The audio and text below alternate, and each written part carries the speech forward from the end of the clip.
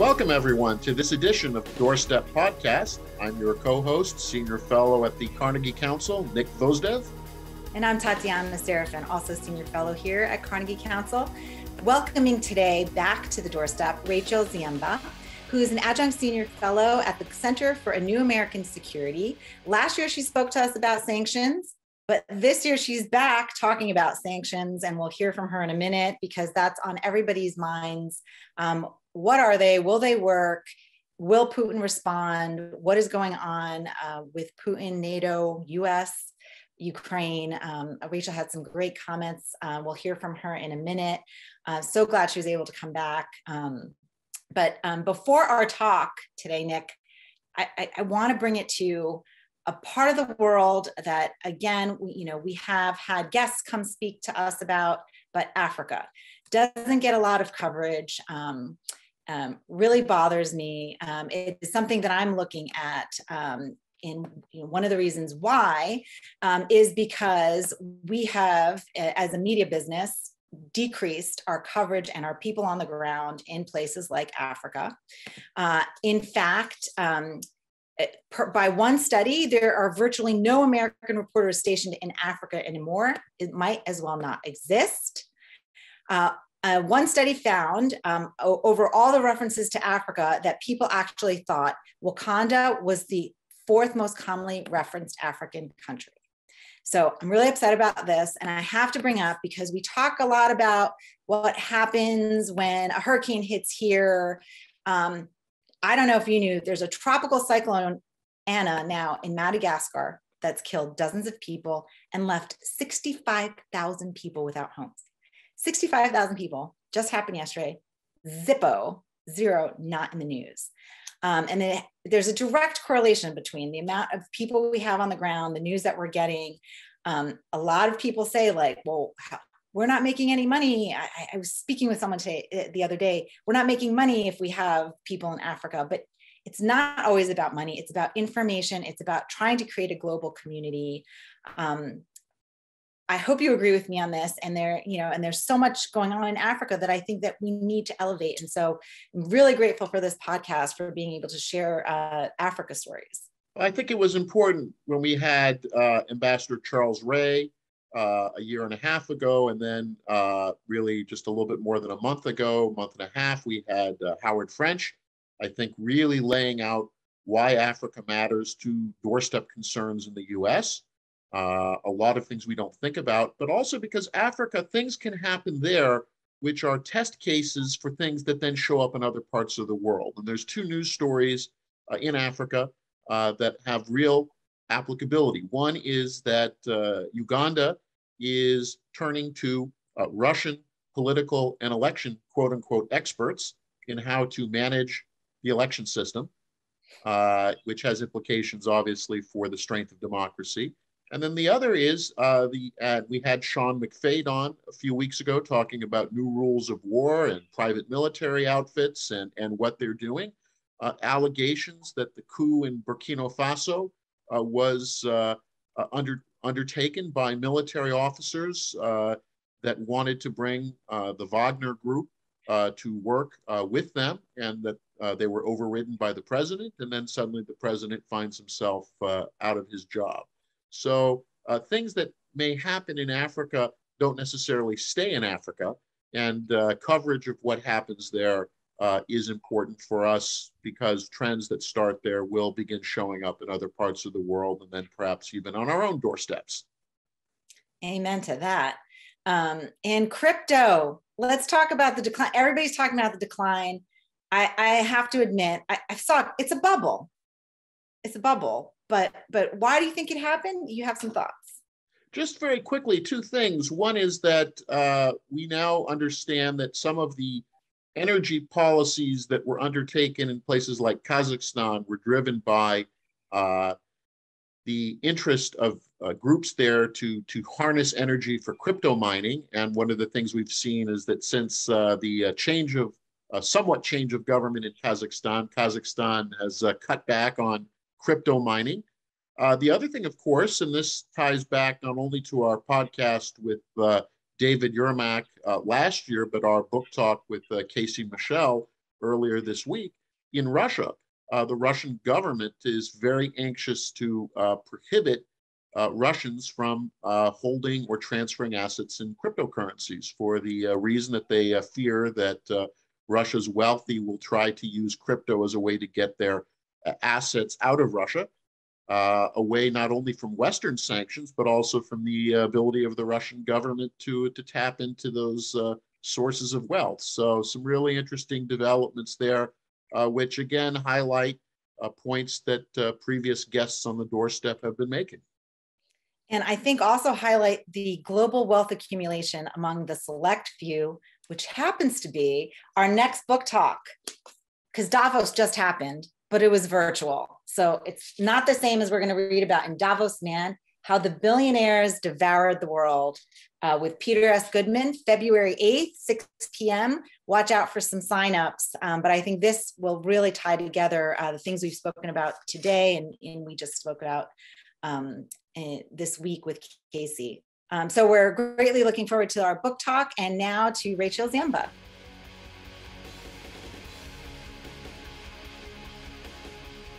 Good morning, Rachel. Thank you so much for coming back to the doorstep. We're so excited to have you. Uh, I think at an important point in the world today, um, you spoke with us last year about what sanctions were, were they effective? And let me tell you, that's all we hear about these days. Sanctions, sanctions, sanctions. And I'm gonna let's start with the elephant in the room because I yesterday, President Biden said he's gonna personally sanction or do a personal sanction on Putin. And I thought, what is that? And why is it scary? And I thought, thank God I'm speaking with Rachel. what, is, what is a personal sanction? Is it scary? Are sanctions even in play here? Uh, Tatiana, first, uh, thanks, thanks to you both. It's a delight to be back and chat with you guys with so much going on, so many moving pieces. So, personal sanctions would be targeting the personal assets of Vladimir Putin as with any official. The challenge with Putin is that it's hard to know exactly what he owns, right? There's a lot of, and some of it's the same issues with any powerful leader in an autocratic state or semi autocratic state. They can have their hands in a variety of pies. Um, but it's particularly so with Putin because there are question marks about which of the energy companies he might have stakes in or other things. And so there's lots of different views out there. And i'm i'm definitely not followed the money where where all of it where where putin personally is concerned. I tend to track more the russian state um, apparatus um, but I think the, for the president, President Biden's comments, I think are part of a whole debate in Washington and, and in European capitals about what are the measures that would influence Russia. Um, and it's and there's a whole school of people that would really have been saying for many years target the oligarchs. Hit them where it hurts. And you know you could say putin is part of that group there was a view some years ago hit the oligarchs and they'll influence putin and change the story i've always been a little bit skeptical of that because i think we have seen uh, i think we tend to see sanctions often concentrate power structures in societies like Russia that are set up to be defensive and and where they, they, they think the goals are on their, their side. Um, but but to your bigger question is, you know, are sanctions at play? Should they be at play? I think it's very difficult to craft a sanctions package that really that, that, that, that we know would lead to policy change. It's much easier, and I say this as an economist, it's easier to sit here and say, how do you craft a package that would hurt Russia economically, that would hurt certain interests? It's much harder to say, well, that leads to the kind of policy change we want, which is not only pulling back the troops from Ukraine or from, from near Ukraine, it's a whole set of activities. Um, and one of the things that's concerned me for some time, where Russia is concerned, has been that we've increasingly grouped sanctions for a whole set of what we call malign activity. And so it would be hard to imagine, even if policy started to change around disinformation and cyber hacking and you know the whole long list you guys talk about all the time how would we sort of lift this sanction but not that sanction but but but but I mean, being serious, I, I don't mean to say that we should be doing nothing. Um, because there was a lot there's a lot here at, at stake. There's a, lot of sort of slippery slopes that are sort of going on. But just to say that just imposing a lot of economic costs doesn't necessarily lead to, to policy change. I tend to think sanctions are most effective when there's a really sort of clear goal a clear strategy that it's not just about sanctions and coercive economic tools but also in this case, um, mil, you know, sort of military deterrence, a variety of other things. And in an ideal world, we wouldn't have been at this point. We would have maybe um, had an upside, you know, sort of a set of policies that um, might give Russian elites, might give even Putin an interest in a different policy path. Now, sometimes I feel a little Pollyanna-ish when I talk about that, but I do think it's it's sort of a conversation um, sort of worth worth having. So long way around, I think also what President Biden is trying to say is a lot of different sanctions, a lot of things are on the table, um, and the like. This is unique. This is one of the first times I have ever seen a U.S. administration lay out. Here's all the things we're thinking about. They're they're almost negotiating in public, and part of that I think is because they want to show they're as united as they can be with Europe, which is hard to do, but also because they want to, you know, they're hoping that laying those things out has a deterrence element to it. We'll see what happens. I don't think anyone wants to see a circumstance where some of these strong economic measures have to be used because they'd be painful for the global economy, but so too would um, invasion and disrespect of national sovereignty that's a great point that I wanted to, to continue to ask you to expand on because what's critical about this next round of sanctions discussions, as opposed to what we saw, in, particularly in the second term of the Obama administration and even during the Trump administration, was that sanctions tend to be imposed that don't really have so much of a doorstep impact uh, on the sanctioning countries. Uh, the sanctions that are being laid out, and then, of course, yesterday, Russia's uh, own threats about its counter sanctions uh, we're talking about things like uh, energy disruption. Uh, we're talking about uh, companies uh, with contracts not being able to uh, be paid for their goods and services. Mm-hmm. We're talking about clients that, you know, goods that would be sanctioned where an American or European firm is doing a project in Russia and that will hit their bottom line and then have ripple effects outward. What's your sense as to how or the the willingness uh, from what you've seen, from what you've observed, you're very active, obviously, in these uh, discussions, uh, particularly on Twitter, engaging so many people in trying to get to the bottom of this. What's your sense as to the resolve to to really drop the hammer uh, if it if it is going to mean real costs, domestic costs in Germany, in France, in Italy, uh, in Britain, perhaps even in the United States? Maybe not so much, uh, but given that Russia is one of the largest oil suppliers to the United States right now. Uh, and we saw how the Biden administration, uh, all for all of its talk about green transition, uh, once uh, prices at the pump hit a certain level, uh, they were back to not quite drill, baby, drill, but pump OPEC pump. So, do you see that there's a political will to impose these kinds of costs if there's going to be real domestic disruption.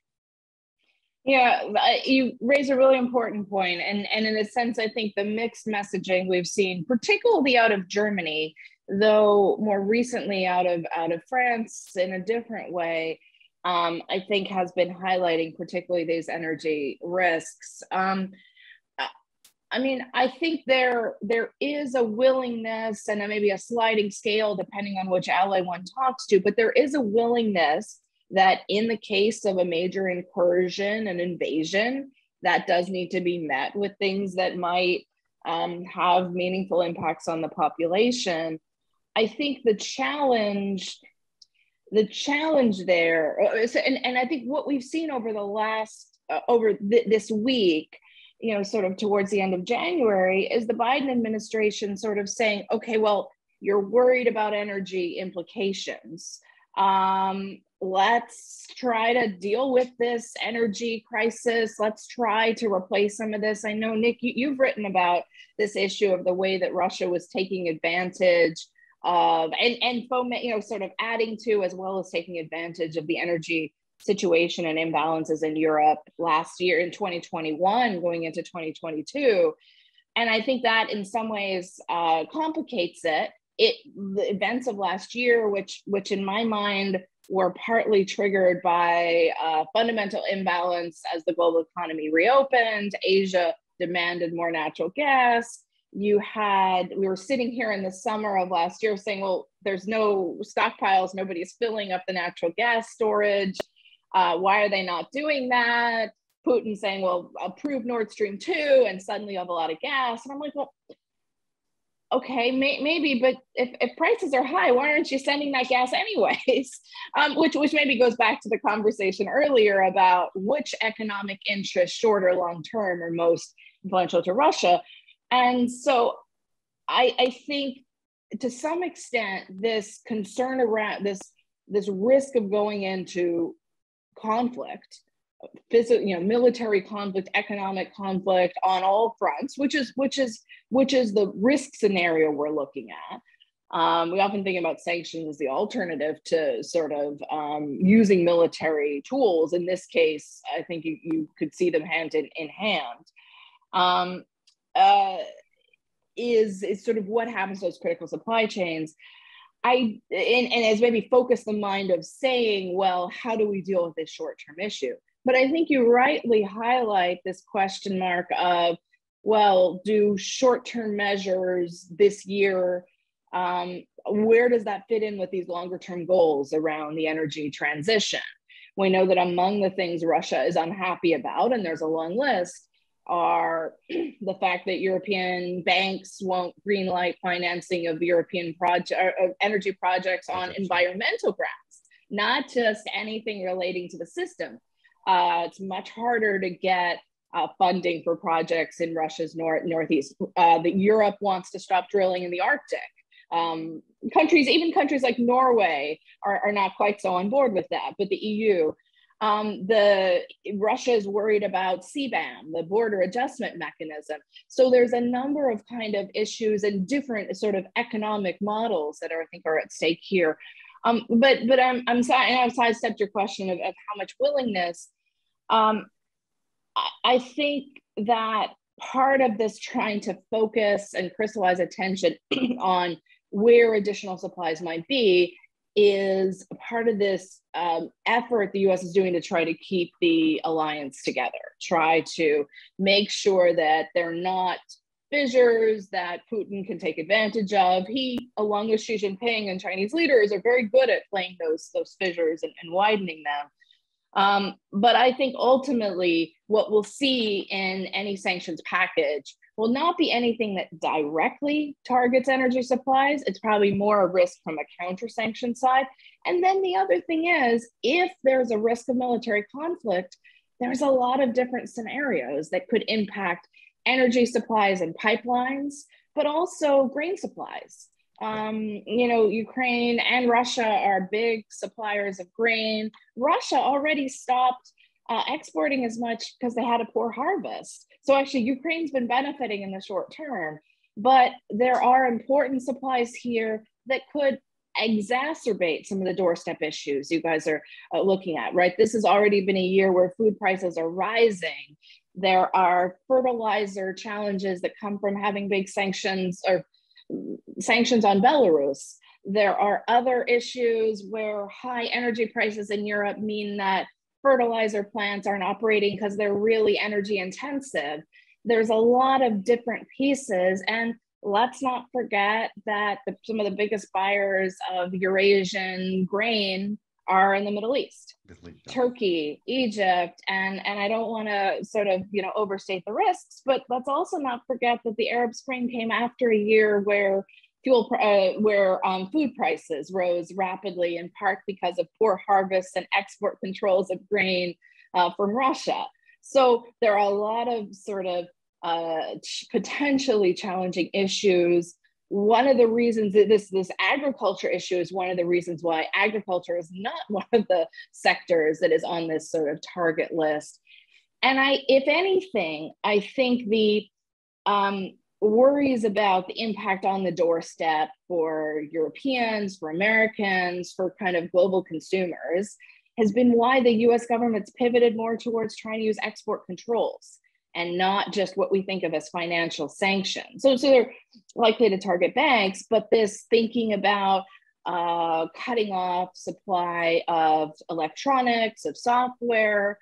Russian companies have been under orders to use more domestically made software. State-owned enterprises have not done a great job applying, you know, sort of applying that. Import substitution is hard and it's costly. Um, but in a sense, I see that in part as the US effort to look around and say, well, what's the asymmetric power we have now? We've used some of the asymmetric power over 2014 or since 2014 and 2015. Um, and so, and, and then Russia has adjusted to some of those measures. We might look and say, okay, well, they're choosing not to grow, that's a cost. But, but that is a choice that they're making. So I do see this push towards export controls as being that attempt to try to say, well, what are the things that might hit Russian, you know, sort of doorstep issues and not. Um, but as I think a number of people have rightly highlighted, things like export controls, they're they're more sort of longer term sort of structural issues. And we've seen Chinese companies uh, adjust to some of those uh, sort of controls. Um, I might say Russian would have a harder time doing that than a Huawei um, or a Chinese industrial complex, but uh, their their limitations and their cost to all these tools, including um, including to sort of uh, global trade and the like. And I think your point at the doorstep is that, and you know, I've heard it loud and clear, is that really our doorstep, it doesn't matter to us, right? That it does matter to Germany. And it maybe matters to Germany because they don't have Merkel to kind of pull it all together, right? And they're a little bit of a mess. Um, and it matters mm. to the UK because they're also in a mess because Boris Johnson is a disaster. So, you know, and you know, you could say the same here that, you know, especially the right in the US is playing up this Ukraine issue. It is just amazing what you hear on right wing channels. Uh, and I think it's because they want yeah. Biden as weak. But really, truly, our doorstep issue, our doorstep stake in this is, I don't know, do we even have one that that's going to really hurt us you know and and you know what i've seen or with what i've talked to with you know my students and kind of you know the gen z's they it doesn't even register it doesn't even register because they're more worried about the fact that Biden is not um, relieving their loans. Um, they're more worried about inflation. I can't afford to live in New York City, for example. Mm, yeah. um, you know, and and so I think that you know this whole push this military and even the military push if you want to push people who love the military even that doesn't resonate with the younger generation. Like it, there's you know so I, I feel like you know you talk about us leading a coalition making sure there's no fissures but i think it's difficult when we're coming for, from a position where our doorstep says who cares? Mm. yeah. I think that's a really good point and uh, and and and I think to the, uh, the and, and the other thing that I imagine your students are also bringing up that I hear from sort of some of mine or others is sort of what does all of this sort you know where was all where is all this urgency we're thinking about climate issues and the climate crisis in certain sort of subset um, uh, but maybe that's because I've spoken to too many people that have watched Don't Look Up. Um, but uh, yeah, great, great movie. Sc- you know, scary. The more the more one elapses from it. Um, uh, but Uh, you know, and, and I think really interesting. I'm sure your sort of journalism and other students might have a sort of heyday with that. But I guess the challenge is also that this is sort of, I mean, where the doorstep issues for us are on on the risk side and we talked about energy but i do think the fact that this is coming at a time where we don't really have we haven't figured out what's the, the narrative around you know how we talk about inflation right and some of it's always asymmetric like when prices go down you know and suddenly you know it doesn't cost much to fill up a tank of gas or other things you know we're not quite as happy as uh, the asymmetry of how upset we are um, now, of course, usually when prices go down like that, it's because people around us are losing jobs or something else is going on. So, so it's often not unmitigated good news. Um, but this sort of element of how we kind of deal with those pressures and the dis, you know, sort of um, some of the, the, the dislocations, the sort of, um, you know, we're headed into sort of a point, um, you know, of monetary normalization. There's a fiscal cliff.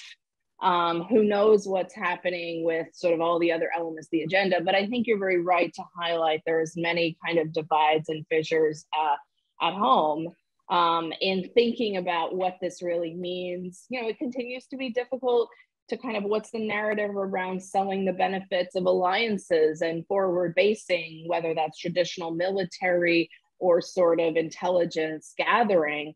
And I think, I mean, Britain is maybe the most clear example, but this element that we've seen in a variety of places, even recently in Australia with Djokovic, of you know, do rich people get their own say of the rules and, you know, what are the interests? I think this does make it difficult to think about what's the, you know, what's the role in the world and, and, and, and, and sort of the, um, the goal and how do you navigate towards these kind of medium term goals, whether it's around the energy transition um, and the like. And I think that makes it, uh, that lack of cohesion and sort of common goals um, make it a hard thing to because you, you end up more likely with sort of what measures needing to do something to do it or or as nick said a circumstance where the way you deal with energy shortages is saying opec and russia pump more oil. Um, and i think that that that messaging it's not just about messaging. I mean you need to have a good strategy and then you need to communicate it well. It's not you know one you know both are necessary um, and I think that's something that uh, you know sort of there's a challenge now. Um, even though there's, I think a lot of people aware that that is an issue, um, and, and, that I think is going to become uh, that is going to become a challenge, especially as we get closer to the midterms. And and I think the narrative issues, you know, we see it as well with with China, right? Um, where there's uh, maybe uh, mixed mixed views when it comes to sort of the doorstep about what we should be doing. Oh, thank you for bringing up China. I just I know Nick, you have a question. I just I was reading today. Um, you know, and we always talk about, you know, let's put pressure on China either with sanctions or we're not sending our diplomats to the Olympics, which are, by the way, starting soon. And all of a sudden, I'm reading actually all investors are pouring money into China right now because there's inflation around the world. So China's the best bet. And I just thought, my God, it's just like cabaret, money, money, money, money, money. And and really the mess, the strategy and the messaging are completely lost because everybody is just worried about making money. Um, and and uh, you know, if that's a doorstep issue that I think we can probably around the world get our, our you know our hands around, right? Like that's what people are concerned about. I think I don't know when the Fed is coming out with its statement today, but I think that's what everybody's looking for. Two um, o'clock. Yeah, two o'clock. All right, two o'clock. We're going to be tuning in. Um, you know, what are you expecting with that? And is the message coming from the Fed going to reverberate in Germany, in Ukraine, in Russia? You know, it, does that matter? You know, does that money aspect matter? more and you know mm. going back to the first personal sanction part right you might we might not know because of what we talked about in our book mm. talk this everything's hidden in offshore shell companies um, but but maybe that's the pressure point if we could find that money pressure point um, you know and, and, that would make a difference I, I don't know i'm kind of mm. spitballing here yeah no i mean I, I think it does matter right and and to some extent with markets um, even just the change, you know, a change in tone and the change in um, alignment mattered, right? We've seen a lot of money sort of shift um, you know, not that it's been good for bonds for, you know, for a while, but, you know, sort of selling bonds, rising interest rates. So, you know, this has been, last two weeks have been a pretty rocky ride in the equity market and we might well see more, more of the same. Some of that has been, and, and, and if we look at emerging markets, rate markets, I mean, there are countries like Brazil that are pricing in interest rates going to double digits. I don't think it's going to happen, um, for a variety of reasons we can get into. But you know, interest rates were you know in the low single digits um, in the the sort of um, in 2020 after they, they they cut rates. I mean, Russia also markets are pricing that have to do very defensive policies, but you know, obviously there's particular circumstances there. But what worries me about the sort of Fed exit, um, which I have to do, right? We, you know, the Fed as well as US fiscal authorities, they came through with stimulus. They did a lot. They kind of helped us kind of keep things moving. The unfortunate thing is that big companies, entities that could already get credit, they were the ones that got even more, right? Big AAA or you know high rated companies, strong sovereigns, including the US or countries like Canada, European countries, they could borrow super cheap even some emerging markets. Now, what's been happening is emerging markets have already been facing this challenge of needing to withdraw stimulus. They can't do much on the fiscal side. And a number of them are really struggling to grow. And the policy mix, both around because of COVID, um, but also structural issues, really domestic demand is a challenge. So you look at a country like Mexico, which is barely, which has been barely growing for a few years, Brazil, um, South Africa, um, uh, and and these are sort of major emerging markets that might not have economic growth on a per capita basis over the next couple of years. That had, I mean, think about what that means from a Eh, you know the impact on their on their doorsteps which then impact their sort of willingness to grapple with the things that might be important to to us mexico is responding to some of those issues by saying okay, well, we're no longer going to export energy. Now, now maybe, you know, there, there, there are plenty of other sources, but that push towards nationalization, that push to sort of, um, you know, it's uh, sort of think about, you know, sort of uh, national, deep in national supply chains, it has, has impacts. Now, I'm not saying that um, there can't be that there isn't a benefit to increasing competitiveness, increasing sort of manufacturing value added in a country like the US. Um, but if everyone's trying to do that at the same time and not in a coordinated way, we could end up with a lot of costs that businesses are having to, to face.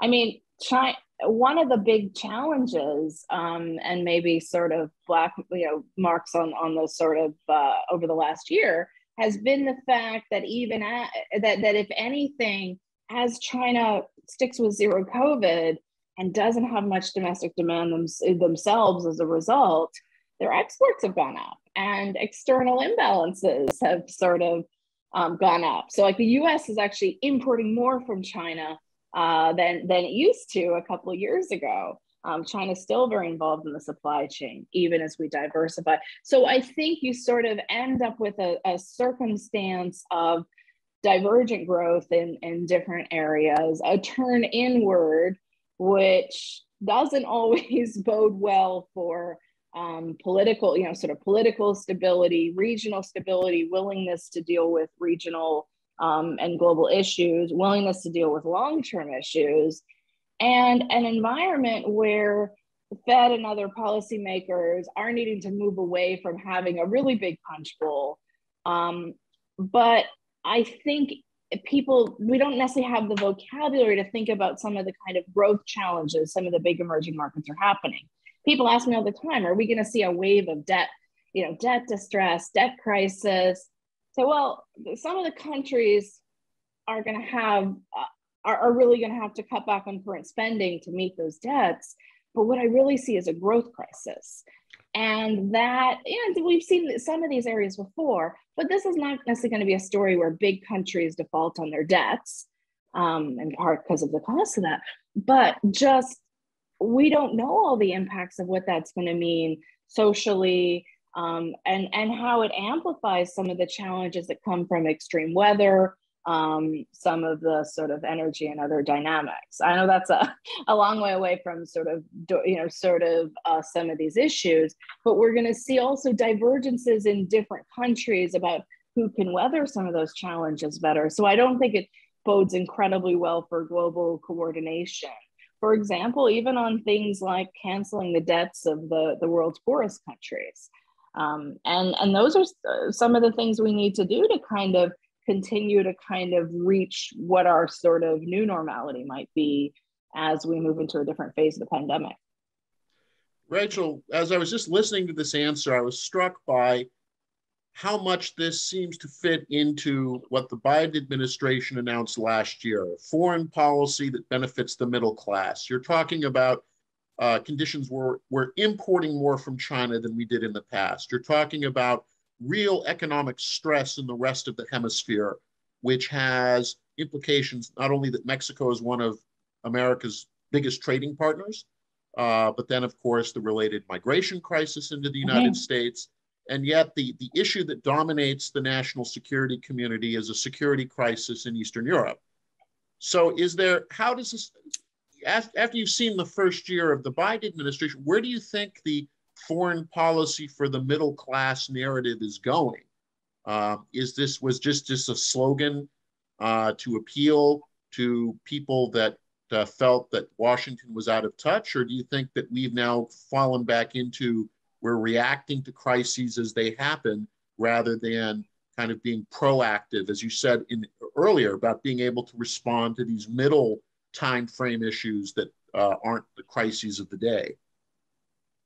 Yeah, so I think I have to kind of give a, a bit of a mixed grade there because I do think the Biden administration did come out trying to do a number of things. And, you know, we can raise questions about things like how far COP26 went, probably didn't go far enough.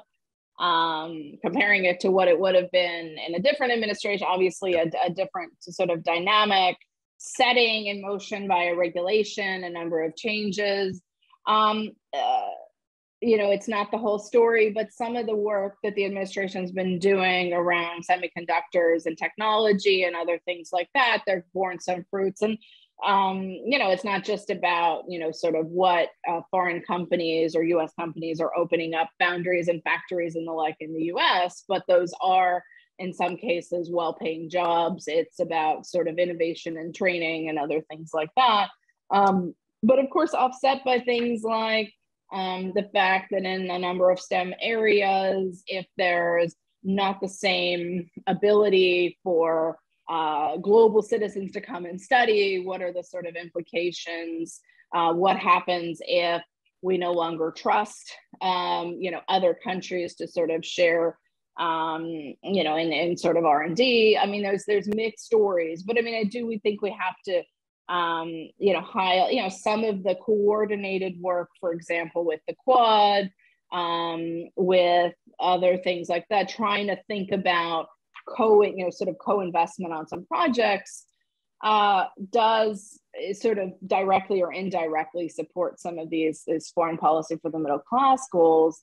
The challenge is or, or, or, before I get to the challenge, I mean, I think one of the things that was different across the legislative agenda um, uh, and, and tools more generally in the economic statecraft area is went from a period over a few administrations of focusing more on the restrictive set of tools. I know we, have talked about this a lot. Uh, the sanctions, the export controls, the investment restrictions, especially the sanctions, um, to things about how do we do things differently at home to either support a range of goals and become more um, resilient. Now, uh, you you both had a great discussion, a scary discussion, um, you know, about American kleptocracy earlier this week, and that's a prime example of where there needs to be more work to increase resiliency at home and sort of address some of these issues. And it's hard once that um, you know has has blown up in that way. I think there are a number of areas, both around domestic investment, but things that are in either uh, approved legislation or not yet approved legislation, like USICA and the CHIPS Act. I mean, CHIPS Act, you know, is a question of how much uh, semiconductors and other production we're going to have. USICA in it includes a lot of additional funding for the National Science Foundation. It includes funding for uh, co-investment with Asian allies critical to our supply chain, that focus of what one might call either the sort of positive or the sort of uh, constructive as opposed to just the, the restrictive, I think is a shift. I mean, there was some of that under the Trump administration, but I think it was muddied by the fact that at the same time there was some co-investment there was a lot of well let's target allies let's you know there, there was a different there was a different form of america first. They're they're they're in in that sort of way. Um so so i think there's mixed stories. It's probably a lot more rhetoric than there is sort of action. Um and and i think there still is that challenge as i think tatiana alluded to of you know what are the benefits of uh, you know, how can we sort of talk about democracy around the world if we have such challenges with our democracy um, at home? And the recent dynamics around voting rights, around sort of the rules and, and regulators in our, Kennedy of um, the, you know, sort of the dynamics in Congress, I think only kind of, you know, bear, bear that out. But I do think that people in the administration believe that sort of uh, b- believe that they're trying to do foreign policy for the middle class. The challenge is that, well, two things. One, crises sort of come up. Um, I think some of the dynamics we're facing with Russia right now are in part maybe a reaction to the fact that it seemed like yet again the administration was trying to pivot towards China, towards Asia, to sort of um, change its policy towards Russia but hope that Russia would just stay there and be happy with what was sort of going on. And so, while I do believe you can do multiple things at once, I think the focus on climate, the focus on China, the difficulties, you know, given Russia's own choices to integrate them into that sort of metric, um, I think have been one of the many sort of things that we've had to react to. The unfortunate thing is that even over the course of the summer and, and so on, there were certain things like energy vulnerabilities and so on that, you know, it's not easy to deal with. But I think that made it uh, even more difficult to kind of coordinate um, with, with Europe um, and to sort of um, balance the short term issues and the longer term reorientation um, in, in, in those ways. So, you know, jury's still out on what it will look like. Um, and I think back to the messaging point and the strategy point, there's been so much focus on things like increasing manufacturing, focusing on supply chains, dealing with, you know, ravages of the pandemic that I think, you know, some of the dynamics of why there's as many or more costly imports from China than there ever were are about the fact that people don't want to see empty shelves. Yeah. right you can't necessarily shift production everywhere you know at, at once um, you know uh, i'm i'm sitting here in canada right now where there are people who are very upset about the fact that truckers now need to you know sort of need to be vaccinated to cross the border and will that impact the um, uh, the sort of uh, supply chain further. The real issue is whatever else is going on that people don't want to be truckers and what wages we pay to them and the like. So some of it is there's not just one set of policies that's foreign policy for the middle class. And and uh, and I mentioned that truckers strike in part not to elevate it because I, I think, but to say that it's a bit a nexus of illicit finance and disinformation and a lot of things that the Canadian and American government should be concerned about, which is just another way of bringing it back to some of the um, the ways in which doorstep concerns and unha- you know and and grievances can be you know sort of can be amplified and uh, taken you know sort of taken you know they can feed into uh, different, you know, sort of different different challenges, and can become a a real challenge for sort of law enforcement those tracking illicit finance, and really say that you know sort of our our structures at home need to continue to be modernized, whether it's around dealing with uh, digital security, whether it's dealing with financial transactions, all of these things. So foreign policy for the middle class is uh, is a whole diverse um, area. Thank you so much for that analysis. Uh, foreign policy also asked experts, and I think they came down exactly where you were. It's incomplete, maybe a C plus. so we'll continue this conversation. Um, thank you so much for for joining us. Um, absolutely, we got to watch this growth crisis uh, I think, and and have you back, and also see what happens with the Fed in the short term and in the medium term, what happens with Ukraine. Uh, so thank you so much, um, Rachel, and we'll see you again soon. Thank you. Great to chat with you. Thanks for listening to The Doorstep, sponsored by the Carnegie Council for Ethics and International Affairs. For more, go to carnegiecouncil.org. Stay healthy and safe.